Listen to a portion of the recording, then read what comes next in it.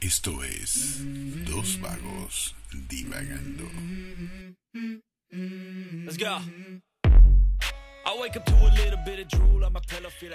Bueno amigos, les presento la, la primera edición de esto que va a llamarse Dos Vagos Divagando.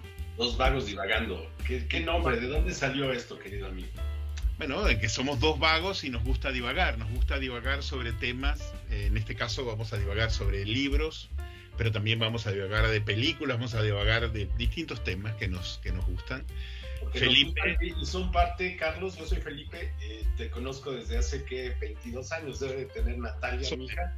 Más o y menos. en esos momentos complicados que la vida nos llevó, desde Leo Burnett hasta Argentina, hasta lugares rarísimos, y de eso va un poco el divagar, que ahora eres un vago tú, si se le puede llamar, a tantos libros y a tantas cosas que consumes todos los días y al mismo tiempo reflexionar sobre lo que nos gusta tanto, que es el cine, la música y los libros, ¿no? Básicamente, divagar sobre las cosas que nos gustan y, y hoy vamos a empezar divagando sobre un libro que leímos hace poco eh, y el cual Felipe ya publicó algunas cosas, yo publiqué otras, pero hoy la idea es eh, entrar un poco más a fondo y además que la gente entienda de qué va esta, esta conversación, este tipo de divagar que es básicamente eso, es divagar. No, no pretendemos definir cuál es una verdad, sino divagar sobre un tema que les puede interesar a ustedes también.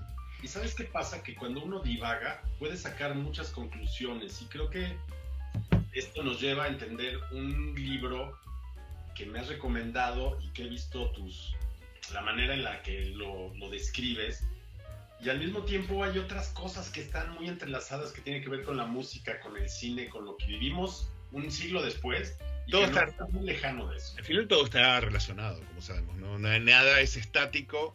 De hecho, un libro al final representa un montón de conexiones. Eh, nos, nos retrotrae a lo que vivimos en ese momento, lo que nos refresca. A ver, el libro que, a que se está refiriendo Felipe es este, es lo tenemos Fortuna. Esta es la evidencia de que sí lo leímos y lo marcamos y lo rayoneamos. Exactamente. Bueno, pero bueno, hay varias cosas interesantes sobre este libro, ¿no? Eh, eh, para empezar, es Fortuna es un libro que nació, salió este año, que fue escrito por Hernán Díaz. Hernán Díaz es un escritor argentino, pero que tiene sus particularidades, ¿no? Es, vivió la mayor parte de su vida fuera de Argentina, vivió muchos años en Suecia, porque su familia se exilió durante la dictadura, después volvió a Argentina, estudió en Argentina, pero volvió a irse muy pronto y se radicó en los Estados Unidos, por lo cual tiene una característica que me parece muy particular, que es que, aunque es argentino, habla perfectamente en español y escribe en español, o sea, sabe escribir en español, en realidad sus libros los escribe en inglés. Y este libro, Fortuna, eh, fue escrito por Hernán Díaz en inglés. Y claro, lo... Es un tipo tan meticuloso que en la traducción que hace Javier Calvo metió la nariz, ¿no? Para decir claro. exactamente bueno. lo, lo, que un término significaba.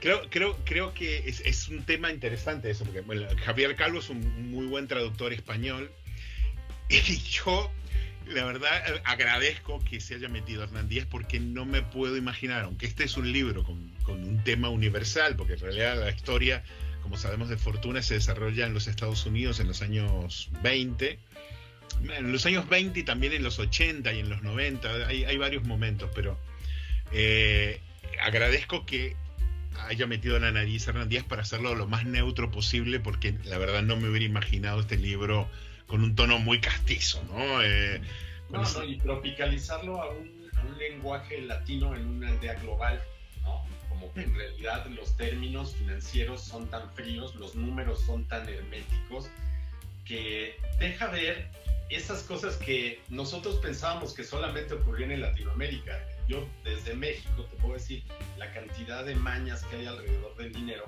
y, y que pensabas que en el impecable mundo imperial estas cosas parecían unos fenómenos aislados, ¿no? y cuando, piensan, no, bueno, esto no sé si sea real o no. Son, son, ellos son unos maestros en esto. En realidad, todos los escándalos que, que nacieron en Wall Street, porque bueno, si quieres le, ponemos un poco de orden para que la gente no se pierda en nuestra divagación. Es decir, eh, el libro Fortuna, ¿de qué se trata? Básicamente. Se trata de eh, un magnate, un magnate neoyorquino que eh, nace ya con una fortuna, nace con, nace con fortuna, nace con mucho dinero, pero se convierte en, una especie de as en la, en la bolsa de valores, ¿no? Estamos hablando de principios del siglo XX, en los últimos años del siglo XIX, pero él sobre todo comienza a operar a principios del siglo XX y hace muchísimo dinero, muchísimo dinero, hace crecer la fortuna que ya heredó de su familia, una familia de, millonarios que, invirtieron en tabaco y otras, otras cosas. Claro. Y eh, ese dinero lo multiplica, lo multiplica invirtiendo en la bolsa, pero eh, él sobre todo donde hace muchísimo dinero, donde se forra y lo multiplica de una manera increíble, es cuando viene el famoso crack del 29, que creo que casi todos saben a, qué nos referimos. En esa época, donde bueno, mucha gente eh, perdió fortunas y se arruinó enormes cantidades de, de inversores, se suicidaron, se tiraron desde edificios, pasaron cosas espantosas. Él justo ahí en ese momento opera y hace se hace multimillonario, ¿no? Esa, parte, él ya venía con mucho dinero, pero él ahí lo que hace es multiplica ese dinero de una manera eh, escandalosa, ¿no? Además hay una, cosa que señalaste. Yo tengo la idea de que hay muy pocas formas de hacerte rico en este planeta, ¿no? Eh, la familia, la escuela, la sociedad te colocan en un plano, ¿no? y si tú tienes una herencia de varias generaciones, de magnates, seguramente también creciste muy acostumbrado al dinero.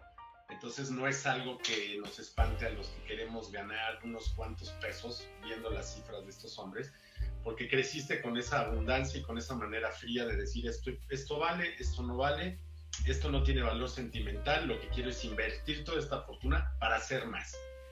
La otra es cuáles son los motores para hacer estas fortunas. Es, es realmente una ambición, de dónde surge esta ambición. Hay una suerte de venganzas, alguna suerte de resentimientos para eh, chingarte a los otros a partir de sus eh, eh, de esas grietas que quedan. Y la otra es ver si estas fortunas te vuelven afortunado. Porque este tipo creció o tuvo una niñez no tan afortunada. Era un tipo brillante, traía buenos genes, eran gente de matemáticas, de análisis muy profundo, pero en un régimen muy, muy solitario, en una niñez muy rara, que fue cuando creció ese cerebro frío. Eh, las matemáticas son más sofisticadas de lo que nosotros vemos, pero quiero decir, era tan cuadrado que él solamente veía números, no veía patrimonio. Lo, por lo menos eh, Hernán Díaz, y, ahora nos metemos un poco en cómo, en cómo lo cuenta, ¿no? es de un personaje de una frialdad, obviamente que es un, tipo que sabe mucho de matemáticas, que se centró en el estudio de la matemática y, que es lo que le apasionaba. Él, lo único que le interesaba era eso, no, no tenía no tenía empatía con la gente, ¿no? Eso, es lo que te cuenta la historia, no, logra establecer relaciones humanas, no, no, le interesa a la gente, a lo único que le interesa son los números, él disfrutaba el tema de los números pero tampoco es que era un genio. Era un tipo que sabía mucho de, números y, estaba obsesionado con eso, pero tampoco es que era eh, una persona superdotada, ¿no? Era un tipo muy capaz, que había sacado ese, ese aislamiento que él tenía, ese disfrute de la vida en aislamiento, ese, esa personalidad de la gente que le cuesta trabajo hasta de una familia totalmente disfuncional, ¿no? Porque lo que te cuenta, él, es eh, hijo único, hijo único, ¿no? Sí, no, de una familia este, muy, muy rara, muy, muy, este, muy extraña. Y bueno, él se crea en ese contexto muy aislado, su padre muere también relativamente joven y él se queda solo y al final él, es criado por, por estos como tutores, ¿no? y, aparentemente, o sea, unos cuando te empiezan a contar esa historia, que ahora vamos a ver cómo la cuenta, te da la sensación de que el tipo eh, es una especie de, de estos personajes que son completamente, mueren solos, que no, no, nunca van a tener pareja, y de repente aparece una mujer, ¿no? En, esa historia. Y, ese yo creo que es el giro interesante de, esta historia, o sea, es la, la, contraposición de él contra esa figura de una mujer, pero, pero en todo caso, lo, lo que me resulta más interesante, y creo que a, ti te pasó lo mismo, de, este personaje es que tú sientes que hay algo maquiavélico atrás, ¿no? El, porque, pero no, lo terminas de visualizar. Tú ves la historia del tipo que ha hecho dinero, es de una frialdad absoluta, y de repente te cuenta la historia del crack del 29, donde tanta gente sufrió, tanta gente perdió su dinero, eh, que fue, una cosa espantosa lo que ocurrió con la caída de la bolsa en el año 29. Y luego te das cuenta que él eh, estuvo tirando de los hilos para jugar con eso, ¿no? Y, ahí es donde muchas cosas te cierran y entra la historia de la mujer, ¿no? Y mira, a lo mejor mi primera divagación fue que hace poco también, para complementar esto y para enriquecer esta lectura y tener un poquito de contexto, vi esta película de Daniel Day-Lewis, este, se llama There Will Be Blood, ¿no? Ah, y grandiosa película, grandiosa película.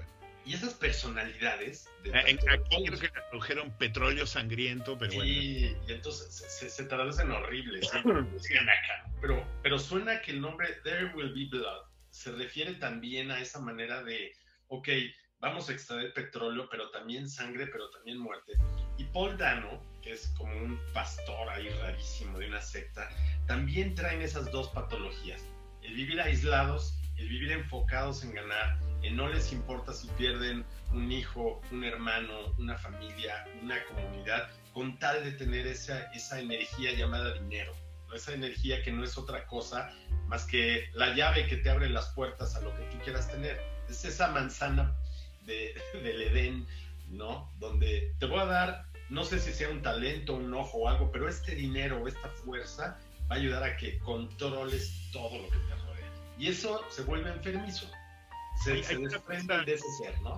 En esa película igual hay, hay una, la, diferencia en todo caso es que es la historia de alguien que eh, era relativamente pobre, porque no era, y él da un vuelco, ¿no? Este, pero sí eh, está eso del, de la pérdida del contacto con la realidad y la absoluta falta de empatía, la relación con el hijo, que es, una cosa espantosa, ¿no?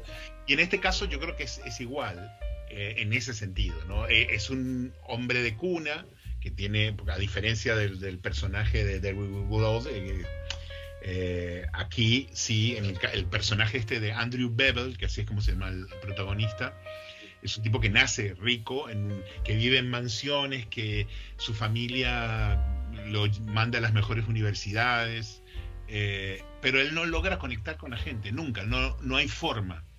no, le, da hasta, cierta urticaria, cierto rollo de decir, no puedo ir ni a los eventos más donde me siento comprometido porque no soporto. Es que, es que incluso cuando uno piensa, cuando uno empieza a ver la relación que él tiene con la mujer y uno piensa, bueno, ahora sí, como que ha conectado, eh, te das cuenta que no, que, que, no hay forma.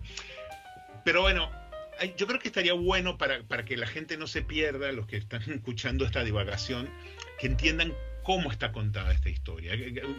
¿Cómo, cómo la O sea, porque esto es lo más interesante de esta novela. O sea, la historia es muy buena, la historia de, uno de estos magnates horribles que, que, nacen en el mundo financiero, pero pero el cómo está contada yo creo que es, es, su característica más importante de Fortuna, ¿no? Y creo que, creo que lo afortunado de Fortuna es que si no lo hubiera contado de la manera en la que la hace, o si no hubiera construido el libro como lo hace, hubiera quedado como una novela de época, ¿no? Hubiera quedado como algo histórico o como unos datos que desde luego iban a ser muy fáciles de contradecir o de confrontar pero se construye en lo que llama Hernán Díaz cuatro documentos, porque a, nivel literario es difícil decir esto constituye una novela, esto constituye un diario, esto, esto son cartas, esto es un ensayo, pero creo que estos cuatro capítulos, por llamarle, o estas cuatro divisiones, nos narran a partir de una novela que tiene mucha coincidencia con la manera de la que se van a contar los otros tres capítulos, una serie de escritos aislados, como queriendo hacer una biografía, pero también muy manipulada. Y después un diario que aparece de manera aislada de una mujer que es la pareja de, Andrew y que también tiene esa sensación de estar en una dimensión, eh, eh, en una burbuja, donde ella tenía una idea y también estaba igual de obsesionada por algunas cosas, también por la matemática, pero desde una perspectiva quizá más emocional, quizá de lo que ella no sabía decir que necesitaba y la manera en que ella formó también a este Andrew para que todo ese espectro, aunque no tuvieran un contacto físico, como, como las parejas románticas, tuviera esa parte siniestra de lo que es el manejo del dinero. Entonces estas cuatro historias, cuando las ves parte por parte, te van haciendo sentido, te van dando referencias de la novela, te van dando referencias de una persona también eh, con problemas que fueron juzgados como, como, enfermedad, porque así, así también se habla del dinero, ¿no? Estaba obsesionado de manera enfermiza por el dinero, pero en realidad también hay una serie de relaciones con las matemáticas, con Suiza, con los medicamentos, con las cifras, con el mecanismo en el que se puede corromper algunas cosas dentro de este sistema financiero para que ocurran, ¿no? Esos descalabros. Cuatro, cuatro fragmentos que no puedes ver aislados porque siempre te aparece una relación, siempre te recuerda qué pasó en la novela. Siempre sabes que hay otra versión. Son, yo diría que son cuatro novelas, o sea, que, que eso es lo, lo, más loco, ¿no? O sea, Fortuna, en realidad son cuatro novelas. Son cuatro novelas que hablan de la misma historia, es decir, es como la misma historia contada a través de cuatro perspectivas diferentes. Y, eso yo creo que es interesante, ¿no? Porque al final es, eh, es una historia sobre, Fortuna es una historia sobre el dinero y el poder del dinero, pero también sobre la verdad, ¿no? Sobre cuál es la verdad, porque tú, a ver, eh, para que la gente no se pierda, y, aquí van spoilers, así que el que, el que le tenga miedo a los spoilers, que se salte. Que se, venga, que se venga a divagar con nosotros. Volvemos a hacer esto.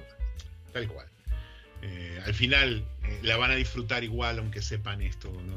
Porque la novela tiene mucho para descubrir, ¿no? Pero, pero a ver, lo primero que te vas a enfrentar cuando uno se enfrenta cuando abre Fortuna es una historia que se llama eh, Bonds en inglés, que es Obligaciones en español, que es una novela escrita por un escritor que se llama Harold Banner. Y es una novela completa. O sea, uno empieza y, es la historia de un personaje que se llama Benjamin eh, Rask, creo que es Benjamin, Benjamin Rask. Rask, Que, es que es la historia de un, multimillonario que es este personaje. Pero, ¿qué pasa? Esa primera eh, novela que uno va a abordar cuando empieza a leer Fortuna es como una historia de ficción dentro de la historia de ficción que es toda la novela de Fortuna. Es decir, uno va a leer la interpretación de la historia de nuestro protagonista, que es Andrew Bevel, a través de una novela de ficción que está dentro de la novela de ficción. Es decir, es metaliterario completo, ¿no? Entonces, ¿qué ocurre? Eh, esta novela, lo primero que uno, eh, que uno se pregunta, ¿no? Es qué cantidad de verdades hay en esta historia de ficción dentro de la ficción, porque Luego, eh, cuando uno pasa a la segunda parte, que es una especie de autobiografía que uno luego interpreta, que está escrita por el propio Andrew Bevel con las correcciones de alguien que no sabemos quién es, porque de hecho está como inacabada, eso es lo interesante, como... Como si fueran notas por Corregir, corregir esto, mejor agregarle tal cosa. Eh, ahí nos damos cuenta de que, ah, ok, nos está hablando de este mismo personaje, pero es que no se llama igual que al comienzo. Entonces nos damos cuenta que, porque esta segunda parte, eh, en realidad es, como una autobiografía que se refiere a la novela que acabamos de leer, que es estas obligaciones, y la critica y dice que es todo mentira. Quita esto y que no se me olvide poner esta anécdota, esta, pero la deja muy velada. Pero, pero sobre todo lo que hace es que le, tira mucha mierda a lo que acabamos de leer. O sea, acabamos de leer una novela que tiene una historia sobre este personaje y que termina de X forma y además nos dice que su esposa muere, de, muere enloquecida en, un hospital en Suiza eh, por una mala praxis de unos médicos en Suiza. Y eh, este personaje nos dice que todo eso es mentira, que, a ver, que su esposa murió, que él hizo dinero, pero lo hizo de una manera este, muy ética, que él... No, y no solo hizo el dinero para él, él ayudó a construir una nación, y gracias a su esfuerzo, él acabó, porque se vuelve hasta rebelde, ¿no? Se vuelve como con el discurso, siempre es el discurso de, de, digamos, de los magnates financieros, digo. A ver, que siempre una verdad tiene como muchas aristas. Probablemente eh, quienes producen, eh, hacen negocios financieros en algún punto puede llegar a decir que contribuyó al crecimiento de la nación, pero eh, este personaje particularmente es bastante dudable que haya contribuido. hay, un momento de, sin, llegar a, hacer daño a la, narrativa, es, era tan bueno, era tan filántropo, que compró un laboratorio para cuidar a su esposa en Suiza. No, no, sí, sí, la esposa. A ver, eh, además ahí entramos en toda esta dinámica de, los millonarios de, esa época, que creo que hoy en día existen estos personajes multimillonarios, digamos, Elon Musk, pero digo, son distintos a los de esa época. la diferencia que había con, la, con lo que era una clase media a principios de los años 20 era tan extraordinaria. Estos millonarios que se habían hecho multi, multi, multimillonarios que viajaban a Europa, que se contrataban sus propios barcos o se iban en su propio yate. Eh, de hecho, iban viajando por Europa comprando este, eh, antigüedades, se compraban, iban a un castillo y decían, bueno, tráigame, embálame todos los, las, eh, ¿cómo se llaman? Las estatuas y los cuadros y me los llevo en un barco para Estados Unidos, eh, que era una cosa muy delirante, que, bueno, de hecho, a mí me recordó mucho lo que se cuenta aquí eh, con el ciudadano Kane, ¿no? Este, de hecho, hay, hay una conexión. Hay una relación. Hay una conexión en, la manera como se ve la historia, porque, porque toda esta historia al final después te das cuenta que está contada como desde un presente, que es en los años 80, 90, a través de otro personaje que vamos a contar ahora. Y, esa visión de, este personaje que murió, que está surgando, es, un poco como la historia del ciudadano Kane. A mí, me recordó muchísimo, salvando las diferencias. Eh, el ciudadano Kane me parece probablemente, si no es la mejor película de la historia, está ahí nomás.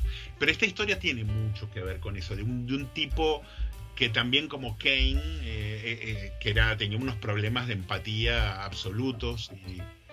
Pero esa, cuestión, esa cuestión delirante, no sé si sea un patrón, porque a, muchas personas clase medieras nos han enseñado que el dinero te vuelve mal, o que el dinero hace mucha maldad, que al final el dinero te deja solo y al final. Son patrones de un tipo que, que yo no creo que igual pero creo que hay una hay una cosa que te hace a ver cuando tú llegas a acumular determinada cantidad de dinero y creo que en esa época todavía era peor en, ese sentido lo que ocurre es que pierdes contacto con la realidad no o sea, y este personaje, por supuesto, es que directamente vivía en un mundo, ¿viste? Él vivía, su conexión con el mundo era eh, la, cinta de, ¿cómo se llama? De, cotización de la bolsa, que en esa época obviamente no tenías computadoras, entonces te llegaba a través del telégrafo, te llegaba una cosa, eh, una, cintita en una máquina, y ese era su, el hilo, su cordón umbilical con, la realidad era esa.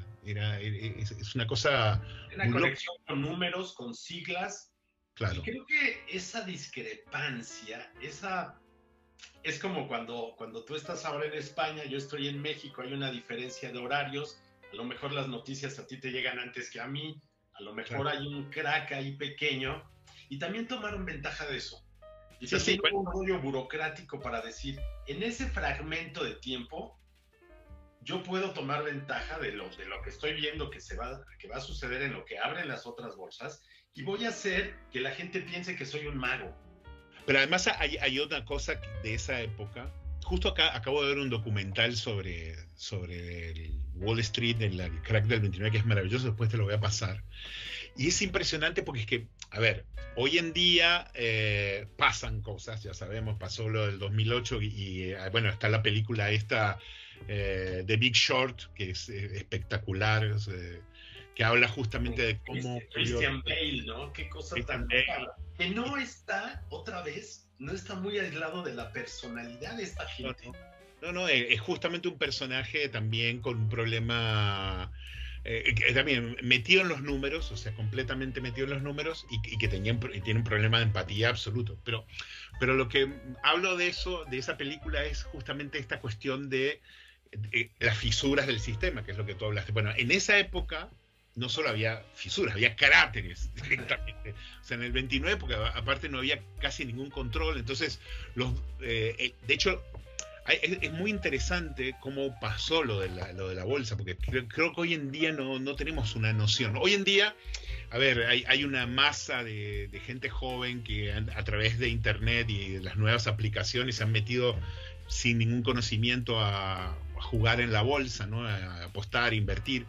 Pero hay que entender que en los años 20 había ocurrido un fenómeno muy loco, que es que, a ver, Estados Unidos había pasado de ser un país... Eh, básicamente agrícola industrial a finales del siglo XIX a de repente una explosión tecnológica con el, lo que hizo Edison, la fábrica eh, Ford y de repente y las telecomunicaciones. Entonces todo eso y, fue digamos Estados Unidos el pionero de todo eso. Entonces había montones de empresas que de repente se hacen muy ricas y la gente eh, empieza a invertir primero mm, tímidamente pero a partir de que gana Estados Unidos la Primera Guerra Mundial, la diferencia de riqueza que tiene Estados Unidos con el resto de Europa es, escandalosa. Es una cosa...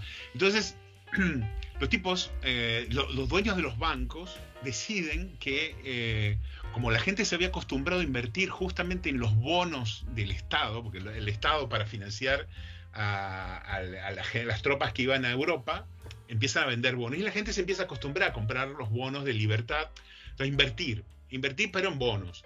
Entonces a los banqueros se les ocurre que, bueno, ¿por qué no popularizamos que todo el mundo invierta en la bolsa? Y hacen oficinas de corretaje en todo el país, un país gigantesco como Estados Unidos. ¿Y qué pasa? Es que en esa época no había ningún tipo de regulación. Entonces hacen las cosas más espantosas, todo el mundo empieza a invertir. Eh, y durante muchos años, es decir, estamos hablando del año 25, ponle, del 20. durante cinco años la bolsa solo subió. Entonces mucha gente tenía la sensación de que estaba, se había hecho multimillonaria. La gente, de, repente gente que no tenía ni idea dice, pero fulano eh, invirtió, no sé, 100 dólares y ahora tiene 20 mil. yo no voy a ser tonto, voy a invertir también. Entonces, este, como ocurrió con la subprime en, en el año 2008, que gente que no tenía dinero de repente se metió en deudas para comprarse una casa y al final lo perdió todo. Aquí también había gente que tenía ahorradas, no sé, 200 dólares y metió todos los ahorros que tenía en invertir en empresas de las cuales no tenía ninguna idea. Y al final... Es una sensación rara porque, ok, estamos hablando de recesión, estamos hablando de un país que sí estaba como, como estructura, como mega económicamente hablando, como un país que apuntaba a la prosperidad, pero en realidad tenía a la mitad de sus soldados afuera o los que habían regresado pensionados, todos jodidos, en una economía incierta que apenas iba arrancando, donde se empiezan a buscar actividades. Para, mucha prosperidad, En ese momento había mucha prosperidad. Lo que pasa es que lo que se creó es una burbuja gigantesca. O sea, eh, acuérdate que eh, es una época, lo llamaban los locos años 20, porque la gente gastaba, era la época del champán, la, o sea, orgías, era, una locura, Hollywood, ahí arranca Hollywood. O sea, eh, eh, fue una época absolutamente delirante, y, y, esa es la época donde este personaje, Andrew Bevel, hace su, su, su debut, digamos, y hace hace los destrozos que hace con, la bolsa, ¿no?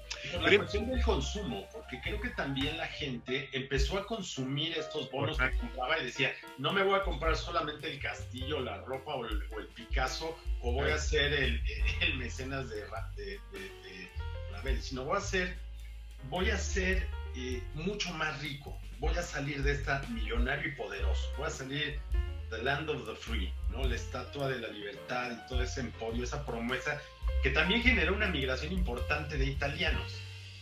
Desde luego de todo tipo de... De todos lados, o sea, era, una, una, persona que es muy importante en un capítulo, que es una secretaria de ascendencia italiana, también venían de una discriminación similar a la que tenemos ahorita, ¿no? Porque era gente mal vista por sus eran. Eran los latinos, los italianos eran los latinos de esa época. Eran considerados como una raza inferior porque no, recordemos que al final de Estados Unidos, la, digamos, el grupo dominante eran este, los, los, anglos en ese momento y bueno, los negros eran como la última, el último escalafón pero los italianos estaban ahí, ahí con los negros, ¿no? No, y había, había una sensación de, bueno, había gente que hacía propaganda escondida, había gente que estaba en contra de todas estas movidas, estaban juzgadas de comunistas, había unos problemas mucho más grandes y que también eran vistos como personas eh, con mucho rencor y resentimiento a este capitalismo. ¿no? Bueno, es que ahí, ahí justo yo creo que lo más interesante que hace este, eh, eh, este, Hernán Díaz es confrontar, ¿no? Porque eh, digamos que el, personaje, la antítesis de Andrew Bevel es el padre de su secretaria, ¿no? Que hablemos un poco de la, secretaria. La, secretaria es un personaje central aquí. A ver, son, son, al final son varios, son tres personajes, yo creo que los más importantes. Andrew Bevel, obviamente, que es el, este millonario, es eh, su esposa, que es Mildred, que, luego cerraremos a ver qué pasa con esta mujer. Y el otro es Ida Partenza, que es este, la secretaria. Que además cambió el nombre. Ella para aplicar a ser parte del trabajo se lo cambió por Ida Prentice. Claro, claro, porque los italianos los tenían. Bueno, y es muy interesante todo el proceso para que la contraten, ¿no? Porque eh, eh, él solicita una mecanógrafa, ¿no? Él, solicita una mecanógrafa porque este personaje es, delirante, ¿no? El, tema es, él está obsesionado porque este tipo que se llama Harold Banner ha escrito un libro que él odia y de hecho él hace toda una movida con todo su dinero para compra todos los libros, los saca de circulación y uno eh, no te queda muy claro qué es lo que pasa, pero el personaje desaparece. Uno puede sospechar que lo manda a matar o anda a saber qué, porque Harold Banner desaparece, se borra del mapa. Y, este, entonces él lo que hace es que él necesita una secretaria que lo ayude a redactar las memorias que él quiere hacer para contrarrestar el libro de Harold Banner. Y que es patético tener que contratar a alguien a que escriba tus memorias cuando en realidad el dolor de una pérdida, pero una pérdida que él siente que a pesar de haber tenido todo el dinero no pudo, no pudo agarrar. ah, claro, bueno, ahí, ahí, habría que aclarar, claro, que acababa, acababa recientemente, o hace unos años antes de morir Mildred, su esposa, que, que es... y, y, obviamente eso está contado en la novela de Harold Banner, que, pero está contado de una manera que es eh, distinto a como lo cuenta el propio Andrew Bevel. Y ese yo creo que ese, ese contraste es lo interesante. Esa manera que es insólita, porque la historia de Ida Partenza también es muy fuerte, cómo estaba coludido toda una red de espionaje en contra de este sistema, cómo están implicadas varias personas muy cercanas y ella es la que trata de escapar, porque ve una oportunidad de prosperar, de olvidar todo ese pasado. Eh, eso me, gustó particularmente porque, a ver, podría haber hecho, o sea, él, muestra que un poco la, la tosudez de Andrew Bevel como eh, matemático, un tipo que no le importa nada más que producir dinero, también es la tosudez del padre de ella, que es un anarquista, que es muy cuadrado, ¿no? Es un anarquista que viene de Italia, obviamente un tipo que, que ha pasado muy malos momentos, pero que también ve el mundo de una manera absolutamente cuadrada, ¿no? Él quiere hacer la revolución y quiere, o sea, todos los capitalistas son malos y él, eh, ella termina trabajando para el más capitalista de todos los capitalistas, o sea, la hija de termina justificándose, termina diciéndole, papá, acepté el trabajo porque soy una obrera. Sí, es, es, ese, e, esa parte está muy, muy bien. Yo, yo aquí, y, esto sí es un mega spoiler, ¿no? y es muy personal, pero yo siento que igual el personaje de ella es probablemente el que no está del todo bien, o sea, no me lo termino de creer, ¿no? E, esa... Sí me gusta mucho, por ejemplo, los diálogos que ella tiene con Andrew Bevel mientras va escribiendo el libro, o sea, y ella lo va ayudando a, construir su historia, me parece espectacular. Pero luego la relación con el padre y eso me parece que es un poco floja, ¿no?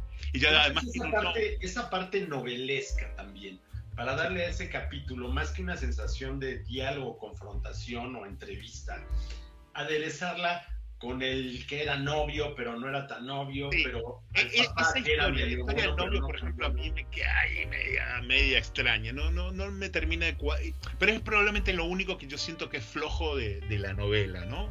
Sabes que, que sí, porque sin duda el último, el último pomo de los que hay acá lo que me gusta eso y que creo que no se centra del todo en, una, en un libro de dinero. Sí, sí, es, no, es un libro de codependencias. Es un libro de eh, ida codependiente del sistema del papá anarquista. Sí, pero sí, no todos como trastornados con sus propios rollos, ¿no? O sea, el padre vive con su obsesión de que él quiere hacer la revolución y que todo lo que es capitalista es, está mal y es una mierda. Ella es la de alguna manera la que tiene que sobrevivir y logra sobrevivir y se logra adaptar al sistema. Es, eso, como ella al final duerme con el enemigo, ¿no? Es, es, la historia, ¿no? Y termina transando, pero, pero logra, al final es la que hace la redención, ¿no? Porque al final lo que tú te das cuenta es que toda esta historia, es decir, los, los cuatro pedazos de alguna manera están traídos por Ida Partenza, ¿no? Porque ella resulta ser la que cuenta el libro. Ah, exactamente. O sea, pero eso te das cuenta al final, final, final. Oye, otra cosa que. Es el spoiler de, toda la. otra cosa que creo que es importante, si, si la gente que nos escucha hoy. Desde luego, esta película muy famosa de Oliver Stone, de, final de los 80 que, que es Wall Street, con este. con los. Bueno, no solamente Charlie, también sale su papá, Martin Sheen, y sale como su papá esa es, muy parecida a la historia de Ida. Es muy la, la yo no me voy a dejar comprar jamás por este hijo de puta y tú no vas a trabajar para él. Y al final se dan cuenta de que ambos eran igual de ambiciosos, de ideales, de, rencores, de, de, culpas muy heredadas. Creo que esa parte de decir, voy a ser el rey de la montaña, tarde o temprano, no sé si los coloca en esa parte de rebeldía. No sé si el ser rebelde también es hacer fundaciones que, me tocan en mi país. ¿eh? Fundaciones para resolver lo que el Estado no resuelve.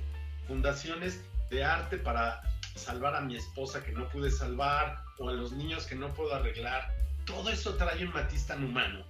Entonces en Wall Street me parecía esa historia también de nadie sabe qué fue lo que los llevó ahí, pero duermen con, con el enemigo, como tú lo dices le rascan los huevos al tigre pensando en que nada va a pasar. Yo nomás quiero una probadita de ese pastel de la fortuna, ¿no? Y me gusta también que la, la palabra fortuna fue, fue una palabra muy afortunada, muy útil, porque se pudo haber llamado confianza, como trust. Se pudo haber puesto como el dólar en God we trust. Sin embargo, es importante decir que como la novela fue escrita en inglés, el nombre original es Trust, ¿no? Que que bueno, trust en realidad significa muchas cosas y por eso eh, eh, la traducción es, complicada, ¿no? Porque trust significa confianza, pero también verdad, pero también significa corporación, ¿no? O sea, es como lo, que tenía este tipo era un trust. El respaldo, el respaldo financiero, claro, es lo más poético, el respaldo financiero de lo que tú crees que vas a, que tú confías tus tu patrimonio. ¿Me permites leer algo rápido, Carlos? Sí, no, no, lee lo que quieras, sí, claro. Mira, hay, una parte que, que, que leeré. La prosperidad de una nación se basa en una simple multitud de intereses propios que se alinean hasta acercarse a eso que se conoce como el bien común. Si se consigue que los suficientes individuos egoístas converjan y actúen en la misma dirección, el resultado se parecerá mucho a una voluntad colectiva o una causa común. Pero en cuanto se pone en marcha ese interés público ilusorio, la gente se olvida de una distinción crucial, que el hecho de que mis necesidades, deseos y ansias puedan reflejar los tuyos, no significa que compartamos una meta. significa que únicamente tenemos la misma meta. Es una diferencia clave. Solo cooperaré contigo en la medida en que sirva a mis propósitos. Más allá de eso, solo puede haber rivalidad e indiferencia. Y eso es el trust. Eso es el confío hasta donde me sirvas. Bueno, es, eh, eh, ah, digamos que las reglas del sistema capitalista son, son esas, claramente. ¿no? Hay, hay una cosa de, el interés va por delante de todo, pero a ver, yo, yo logro, yo logro aceptar esas reglas del juego siempre y cuando haya un, un una mecanismo del sistema que me cuide cuando hay abusos, ¿no? que es donde, donde ahí no, fallaba, no había nadie que te protegiera, estaba completamente desprotegido. Bueno, como ocurrió en el 2008, ¿no? Y como ha, ocurrido muchas veces, no, no, no, estamos protegidos nunca del todo, ¿no? Cuando, cuando poco tiempo que tú llegaste a este país, México, estaba así la efervescencia, si no te tocó a ti, a mí me tocó en el desayunador de casa, a punto de irme a trabajar a la agencia, estaba yo en Young and Rubicam, creo que tú ya estabas por allá en el 2001. Sí, y ese famoso atentado del 11 de septiembre, claro, sí, estaba, estaba fue exactamente quien lo haya hecho tirar dos aviones al centro financiero del imperio. Ese, ese destroce simbólico, ¿no? porque más allá de que acabaron con seguros, con líneas aéreas y, generaron lo que llama, llaman los Bush el terrorismo, de alguna manera tenía una carga simbólica que ya también tenía muchos años y que genera ciertas, ciertas maneras de llamar la atención. Creo que este libro lo que hace es también denunciar cómo muchas cosas están basadas no en conspiraciones, no en especulaciones, sino en las estupideces que hace la gente cuando confía demasiado, cuando confía en que siempre va a ganar, cuando confía en que voy a hipotecar, y claro, en el 2008, pues a todo el mundo lo tuvieron que sacar de sus casas, como lo viste en esto de Big Short, ¿no? Porque no estaban sustentados en nada, seguían, compro una casa y la subarrendo y la subarrendo. E, es cierto que yo por eso siempre digo, obviamente, el, el, capitalismo es, es, muy fácil de atacar, ¿no? Porque es, pero yo, yo creo que los, los, más responsables de todo esto siempre son los políticos que te dicen, no, sí, confía, este, no, la economía está fuerte, no, puedan seguir, pueden seguir confiando en los bancos. ¿Quién te dice eso? Eso te lo dicen sobre todo los políticos que han sido quienes han manipulado siempre la opinión pública para poder y obviamente son socios de, estos personajes, ¿no? Son los que atraen los capitales, según eso, en una promesa de campaña empiezan a atraer capitales es, Es curioso porque al final todo lo que generó el crack del 29, igual que lo que generó el del 2008 ha sido, al final hay como las oleadas que generan sistemas que son opuestos al liberalismo económico, ¿no? Porque ¿Y qué vino después de eso? Bueno, un crecimiento, el, fascismo es como consecuencia precisamente de esto, a, diferencia de lo que mucha gente cree que el fascismo es parte del capitalismo, al contrario, el fascismo que se originó a partir de ahí es porque la gente creía que eh, un régimen totalitario donde el Estado te protegiera eh, el que el fascismo, eh, tanto en Italia como en Alemania, eran esos estados totalitarios que protegían conservadores que te iban a defender y eh, obviamente el comunismo, ¿no? El comunismo que ya existía, aunque comenzó justamente en esa época, el 17, el 19, pero digamos que el, el, comunismo ganó mucha popularidad a raíz también de la caída de la bolsa, porque la gente decía, no, necesito que un Estado venga y me salve. Y ocurrió también el, después del 2008, ¿no? Después del 2008 la gente dice, no, necesitamos más Estado. Bueno, al final eh, lo que ocurre cuando estos estados se hacen mega gigantes termina no siendo tan positivo como pensamos, ¿no? Sí, claro. Sí, Pero mira, mis, mis antepasados, tú sabes que soy de ojo claro, sí, eh, claramente.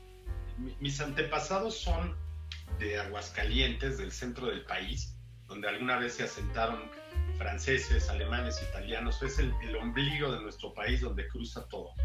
Pero en la época de los 20, justo en la época mm, de las más difíciles de nuestra nación mexicana, fue eh, que mis abuelos tenían que irse a Estados Unidos. Mi abuelo fue bracero en Chicago. Mi abuelo conoció, antes de que estuviera el edificio de Leo Burnett que visitamos, mi abuelo a lo mejor lo construyó. Había gente, mano de obra mexicana, que tenía que salir de una ranchería de Aguascalientes o de Zacatecas, o a San Francisco, o a Chicago, o a Nueva York, hacer la mano de obra de estos imperios de la construcción, de la industria inmobiliaria, de la cuestión ferroviaria, de las presas. Siempre, siempre, siempre ha sido así. Mi familia se regresó y aprendió inglés así, aprendieron así mis abuelos, pero siempre esa sensación de ir, buscar, regresar, eh, moverte y estar movido por esta, por esta economía.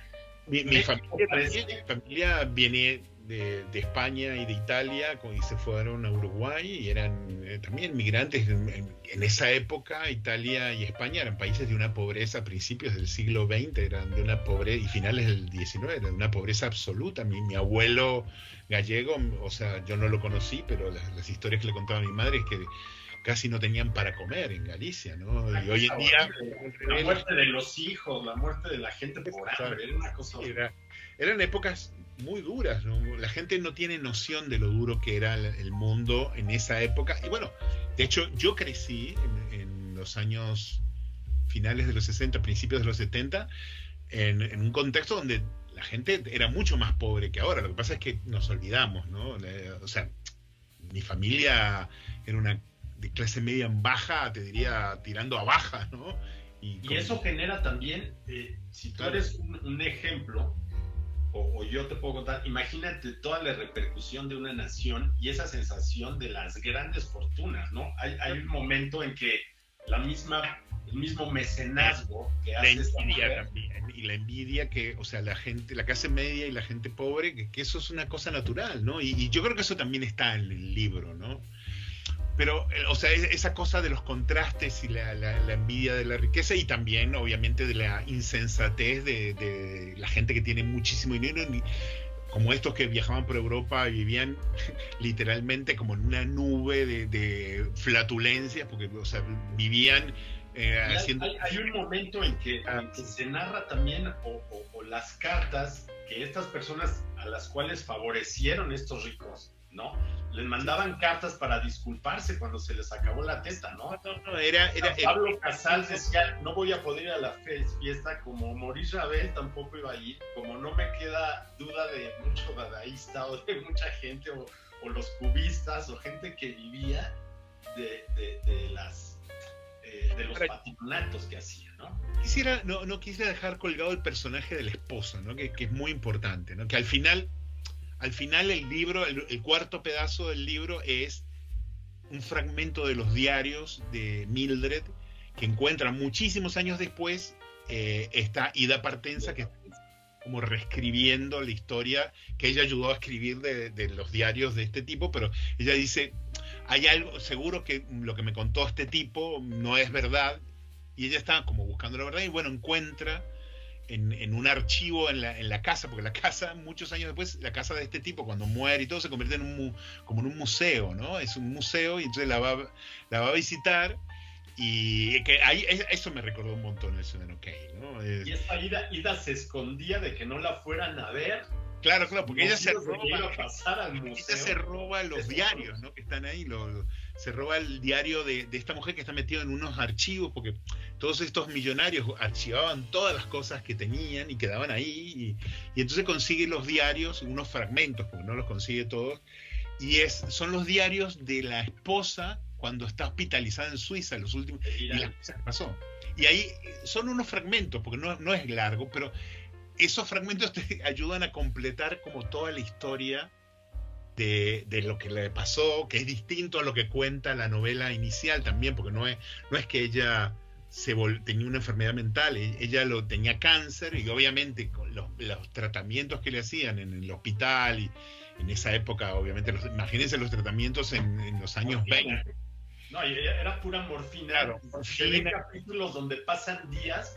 Sí, sí, morfina. morfina es interesante porque, claro, ella escribe esos diarios bajo los efectos de la morfina, o sea, de una drogada total, está totalmente colocada y entonces cuenta su versión de la historia, pero obviamente esos pedacitos te hacen entender un montón de cosas y, me parece muy interesante. Yo, yo quería leer un fragmento también cortito porque habla de, la de, de lo que le pasaba a este tipo con a Andrew Bebel con su mujer. Obviamente, yo creo que este, este pedacito lo que te dice en realidad eh, en realidad no es, no es eh, de, la parte que escribió él, sino es de la parte que escribió el, autor, ¿no? El, Harold Banner, pero yo creo que eh, ahí resume un poco la desconexión de la realidad que tenía este tipo y la, falta de empatía, ¿no? Porque este, ese fragmento dice, la intimidad puede ser una carga insoportable para quienes, al experimentarla por primera vez, después de una vida entera de autosuficiencia orgullosa, de pronto descubren que era lo que le faltaba a su mundo. Encontrar la dicha se vuelve indistinguible del miedo a perderla. Es un PC brillante. Cuestionan su derecho a responsabilidad al otro de su felicidad. Se preocupan porque su ser amado pueda considerar tediosa su reverencia. Temen que su anhelo les pueda haber distorsionado los rasgos de formas que ellos mismos no alcanzan a ver. Y así vencidos por el peso de todas estas preguntas y preocupaciones, terminan por doblarse sobre sí mismos y la felicidad que acaban de encontrar en la compañía se convierte en una expresión más profunda de la soledad que creían haber dejado atrás.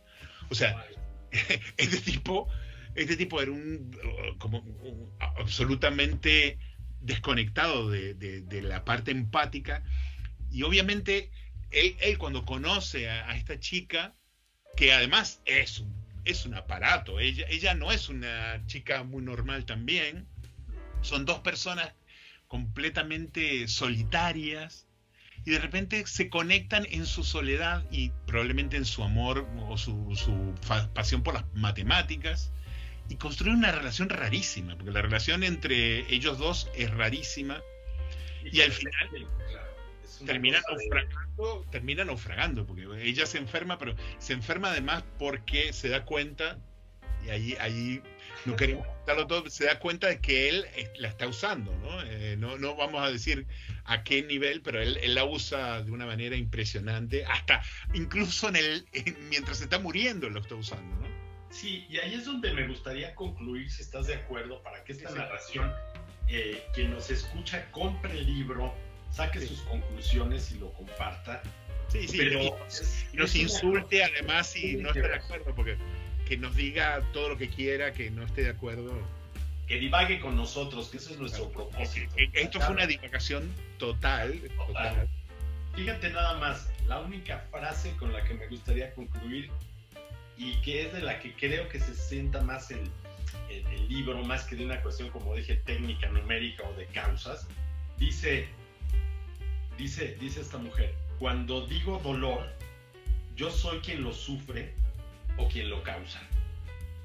Y entonces... Bueno, ahí, está un poco la clave de, todo lo que tienen que descubrir al leer este libro, ¿no? O sea, pues ha, sido fantástico. Yo creo que yo creo que es una gran recomendación. Esperemos seguir hablando de otros libros de otras películas. Tenemos que hacerlo. Otros personajes tan salvajes, pero es un gran libro. Se llevó el Pulitzer, este cabrón. Sí, sí, se llevó el Pulitzer. Bueno, y, y otro punto que es importante es que, que no sé si todo el mundo lo tiene claro, es que mm, van, están produciendo ya una serie para HBO que lo va a protagonizar Kate Winslet. No sé, me imagino que ella hará de, de Mildred o de Ida Partenza.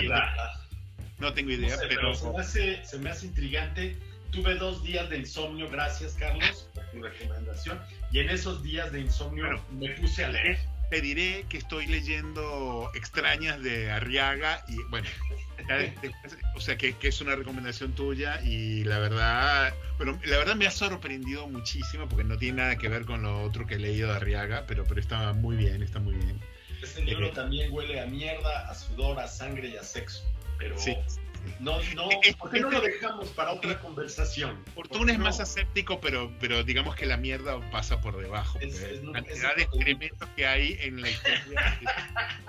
siempre, siempre me da mucho gusto conversar contigo, Carlos. Ojalá que quien esté en España, quien esté en México, que podamos converger, aunque sea ahí por donde se hundió el Titanic, pero por las mismas eh, circunstancias tenemos que, que, ¿Por qué no hablamos de extrañas? ¿Por qué no buscamos otro episodio y lo desarrollamos intentemos, igual? intentemos que el próximo, déjame terminar de leerlo, pero el próximo será extrañas porque creo que es un tema que da para un montón, porque bueno, justo ah, eh, tú me lo recomendaste porque yo había publicado el libro este de Paré, que es un cirujano del siglo, de la época del Renacimiento, y eh, da, para un montón de cosas muy morbosas, ¿no? Pero, pero bueno, ya hablaremos de eso, y bueno, a ver, ojalá que nos sigan, eh, ojalá que les guste, que nos cuenten lo que no les, les parece que dijimos, eh, lo que no dijimos, los que no lo han leído, coméntenos qué les parece eh, como potencial lectura esto.